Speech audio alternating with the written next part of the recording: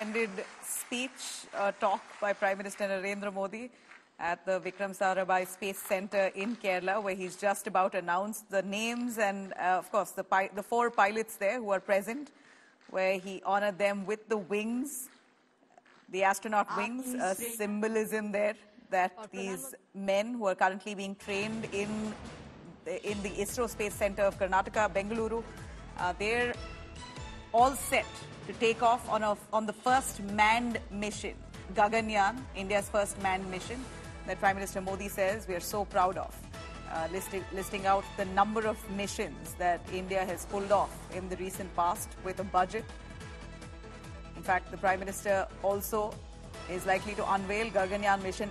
As we see here, he's uh, announced the names of the four pilots who are all group captains or wing commanders. Four of them, if I could read out their names yet again, as the Prime Minister himself has said, Group Captain Prashant Balakrishnan Nair, Group Captain Ajit Krishnan, Group Captain Angad Pratap, Wing Commander Shubhanshu Shukla. These are the four pilots who will be taking off on the first manned mission uh, into space, an orbit of 400 kilometers, a three-day mission, and then will be brought back safely to Earth. Very interesting to hear the Prime Minister there as he visits the Vikram Sarabhai Space Center in Tiruvananthapuram, Kerala. He speaks extensively of, about this Gaganyaan mission. In fact, it's a, a, develop, a, development cost for Gaganyaan itself has come up to nearly 1,800 crores, all uh, supported by the central government. And he listed out the capabilities of uh, India's space mission, the first uh, the number of them that have happened in the past. This Gaganyaan mission will be the first, though, which will have a pilot in that mission. Uh, four pilots, in fact, he's uh, even named them, and that's the visual that we see there. Four pilots who will take off on this Gaganyaan mission. He even bestowed them with the astronaut wings today uh, to those astronaut designates. Four of them who are either wing commanders or group captains. Those are the visuals that you see there, India's space mission.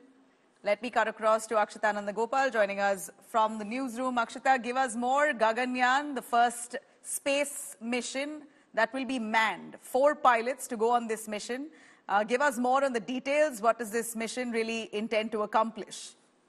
Uh, well, extremely exciting news because Nabila, for the last many months, for space enthusiasts like me, there have been so many questions about who the chosen ones will be. The four men who you see on your screens are going to be scripting history here in India as the first Indians part of an Indian space mission to make their way into space. You have, uh, in fact, uh, three group captains, Group Captain Prashant Balakrishnan Nair, Group Captain Angad Pratap, Group Captain Ajit Krishnan, and also Wing Commander Shukla.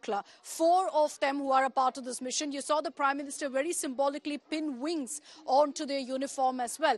But for 13 months, this entire project has been kept under wraps. For 13 months, they've been undergoing training. In Bengaluru, a facility has been set up just for their training, where they're undergoing rigorous physical and mental training. And as the Prime Minister pointed out, part of their training is also undergoing yoga sessions, which is so important to ensure that mentally and physically they're fully ready for the task ahead. Also, internationally, we know that they went to a Russian Space Institute also to be a part of training. NASA has also played an active role to ensure that they're fully ready for the Gaganyaan mission. And then 13 months, of course, they've been training. Now there is a lot more training that they will undergo. And in a few months from now, they'll be set to go to space. It's a huge moment, of course, for India. And the world will be watching the Gaganyaan mission. There are, of course, a few more tests that have to be conducted. The cryogenic engine phase has been done. You saw also the abort test that was done in October very successfully. So the emergency backup tests are also taken care of.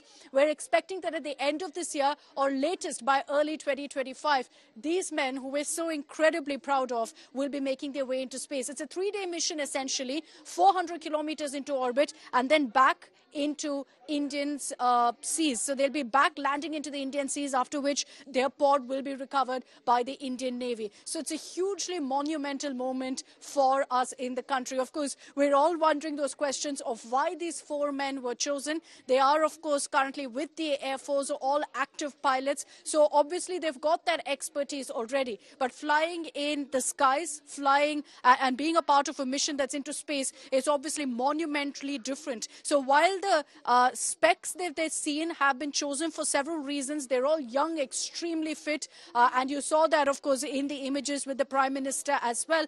But they're still undergoing a lot more training. And I'm talking about microgravitational training, which is happening in the Bengaluru facility, physical training that we've been seeing videos of, which ISRO also released to show us just a glimpse of what they've undergone in the last 13 months. So all four of them will be on board the Gaganyaan mission in just a few months from right. now.